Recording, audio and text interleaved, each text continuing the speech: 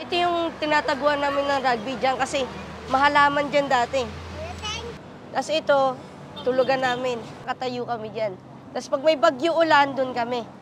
Naging street child kami kahit saan, papuntang Alabang, Manila. Tapos na-DSWD kami ng paulit-ulit. Batang hamog, yan si Gian Paulo. Lumaking walang tatay, hinubog ng malupit na kapalaran, at lumaki sa lansangan. Yung napapaaway kami madalas. Tapos, kasama kami sa mga, may mga vision tayo, mga ganun, mga nag-rugby, ganun.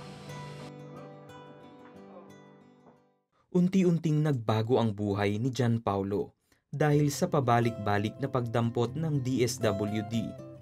Nakatulong rin sa kanya ang isang local Christian church na siyang nangangalaga sa kanya at ang kanyang pamilya.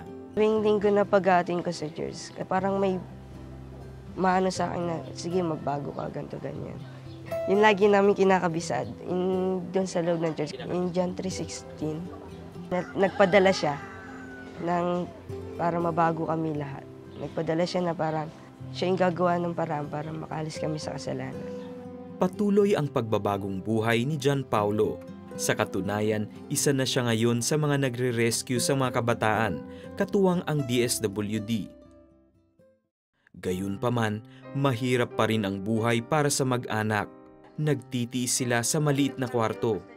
Nangangalakal kapag may oras at nagtatrabaho sa isang junk shop para sa pang-araw-araw na pangangailangan. Pag nakikita ko silang walang kain, ganito, ganyan, maasa sa junk shop. Parang naisip ko, parang bumabalik na unti-unti kung ano kami sa lansangan noon na parang nababalik ngayon. Na nahihirapan, yung sa mga bigay ng ibang tao, ganun. Tapos ang maasa lang kung may mautangan. Yung parang ayoko na siya nakikitang ganun.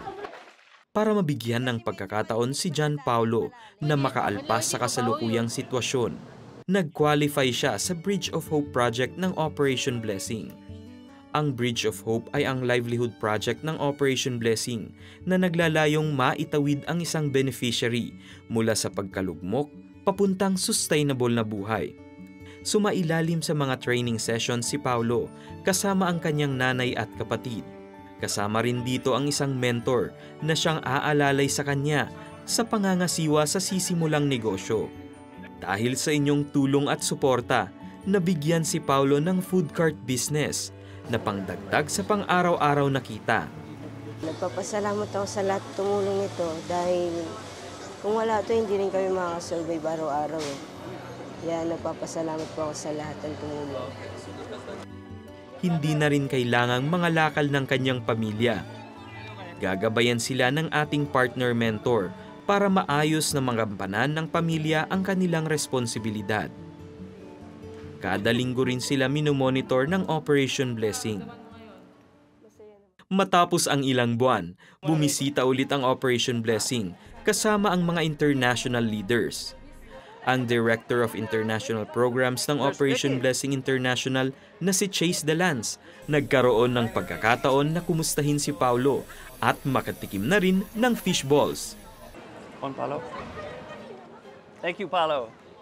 My name is Chase DeLands. I am the Director of International Programs with Operation Blessing. We're here in the Philippines with Paulo, who is one of our beneficiaries of the Bridge of Hope program. It's a livelihood hunger relief program where we are really taking people from a cycle of suffering into a place of where they can sustain themselves and their families. We are partnering with churches so they are not only growing a business, but they are growing spiritually in their lives. From Paulo, myself, and all of our beneficiaries, thank you so much for giving to Operation Blessing so we can really change people's lives and not only change their lives, but move people from death to life in the name of Jesus Christ. And by the way, this is Fishball, local Filipino street food.